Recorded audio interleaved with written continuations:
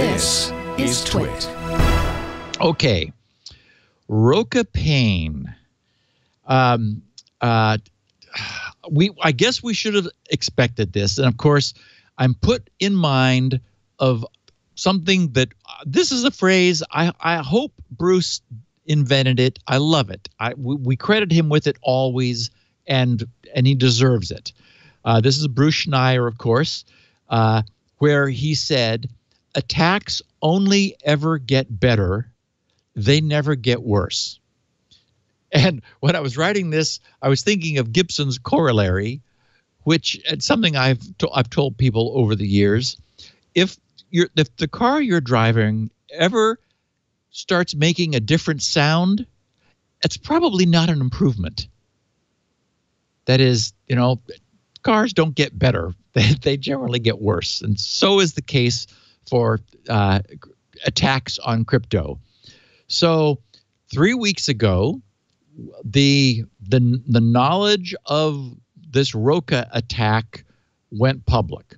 And what we know is that the researchers who forensically examined a, a whole bunch of public keys that were being generated by this Inf- Infineon crypto library discovered, to their credit, that these were not robust private keys, that it was possible to factor the private key I'm, I'm sorry, these were not robust public keys, that it was possible to factor the public key down to its primes, which revealed the private key, which is exactly what this technology, the RSA technology, was designed to prevent.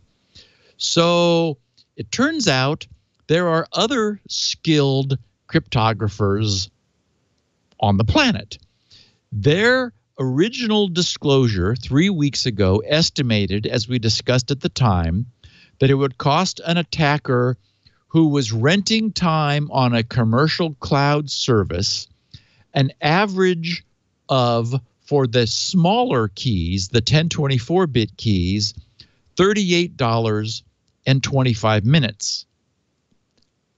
Much harder for a state of the art 2048 bit key about nine days of of compute time costing about $20,000. So at the time we said, okay, that's really not good. Remember that it's supposed to be way, way, way, way more than the age of the universe squared. So this is far short. Nine days, that's a lot quicker than the expected age of the universe. So um, we also know that many organizations who are known to be using these keys vulnerable to Roca have largely downplayed the severity of the weakness, claiming that it was complicated and not inexpensive. And also, even the guys in Estonia said that large scale vote fraud is not conceivable due to the considerable cost and computing power necessary for generating the private key, you know, cracking the public key down back into its components again. But turns out, as I said, there are other gifted cryptographers, and particularly Dan Bernstein and the and the woman he often works with, Tanja Lange. Um, they they came up with a much more potent attack. Dan, remember, is the originator of the the curve 25519. So definitely someone who knows his crypto. Um, they reported that they developed an attack that was 25% more efficient than the one created by the original Roca researchers. Okay.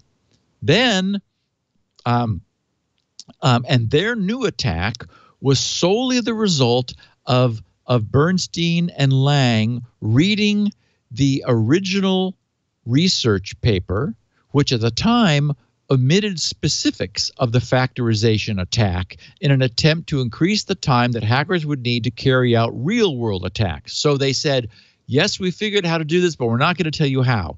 Well, you know, they didn't have to tell Bernstein and Lange how to do this. These guys figured it out themselves. So, um, after creating their more efficient attack, Bernstein and Lange submitted it to the original researchers, saying, uh, guys, uh, we got a better way to do this. The, and then, upon receiving that, the original researchers since privately disclosed their own revised attack that's as much as four times more efficient than what they originally published in their paper. So that suddenly drops the 2048 bit key from nine days to what, two and a half?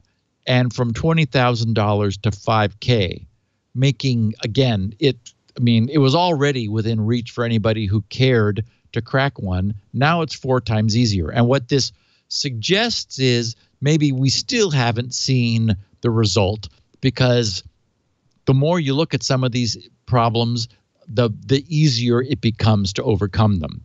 So, as a consequence of all this, on Friday, Estonia's police and border guard suspended the entire set. Oh, that's too bad.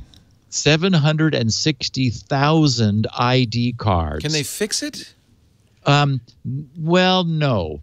Um, Because it's in now, a chip, right? It's kind of built in. in- Yes, exactly. It is in the hardware embedded in the chip. So they are now issuing cards which use elliptic curve cryptography instead of the vulnerable RSA keys. Well, I'm glad I It didn't was- get my Estonian ID card. And, and and remember that we've talked about how forward looking Oh, I was going to get is. one. I was in Estonia last year, and I meant to get one. I just didn't have time. Yeah, they they they use it for voting, for um, for border crossing, for uh, as, as their ID card, for all kinds of things are tied into this, and they've had to say, "Whoops, we are just going to uh, remove them all from service." Three quarters, more than three quarters of a million cards, and but to their credit, they're going to reissue them using elliptic curve crypto, which isn't vulnerable to any sort of a factorization attack because it doesn't use prime factors as the as the hard problem that uh, needs to be solved in order to uh, to protect the key. So, yep, uh, we we could have anticipated that something like this would happen because, uh, as Bruce said, attacks only ever get better; they never get worse. Um, and this podcast also only ever gets better. That's a nice coda for this show. It only ever gets better.